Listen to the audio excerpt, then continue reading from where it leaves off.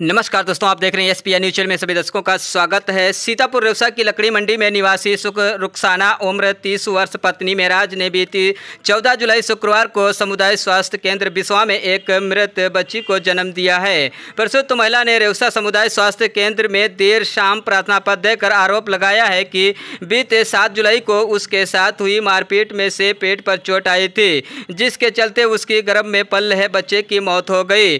थाने में दिए गए प्रार्थना पत्र में पीर अली शमसुद्दीन फिरोज अख्तर सगीर और अज़ीज़ पर मारपीट का आरोप लगाया गया है। रेउसा थाना पुलिस ने पोस्टमार्टम करके जिला मुख्यालय भेजने की कार्रवाई की है। पीएम रिपोर्ट आने के बाद अंतिम कार्रवाई की जाएगी।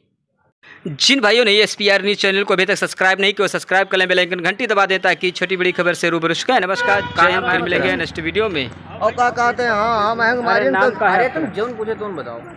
का नाम है? बताओ ना नाम। पिता। अपन। हमार वाहिद नाम है। पिता का नाम? पिता रमज़ान नाम है। क्या घटना घटी तुम्हारे घटनी घटी या देवाल तूरे लग। कौन तब कहा देवाल न तूरो बस ईटा डंडा चले लाग। हम तब सबका रपटाए रपटाए मारी न हम दरवाज़ा बंद कह घर में लुकाए रहे मारा? अली रहे फिरोज मौलाना रहे सगीर रहे अज़ीज़ रहे अख्तर रहे शमसू रहे और इनका का हुआ? हैं?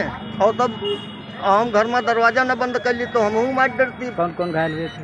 घायल भाई रुखसाना के बच्चा क्या मरा जो मरी भाई भाई की ने बेटावा आलिया के लिए खोपड़ी फाट गए रहे। कहाँ पे इलाज कहाँ पे करवाया आपने? इलाज यहाँ भाई यहाँ यहाँ सरकारी अस्पताल हम तक सब सीतापुर गए। सीतापुर डॉक्टरी बेटावा के और बहू के हमरे भाई। तब आज बेटावा खत्म भय हुए। डेड बॉडी कहाँ लेके आए हैं? हैं कहाँ पे लाए हैं इस वक्त? ये दिन थाने हम लाए हैं। कहाँ थाना है? ये रेवता थाना। तो क्या पीएम कराना चाहिए जी। लाहौर तो मास्टर करें।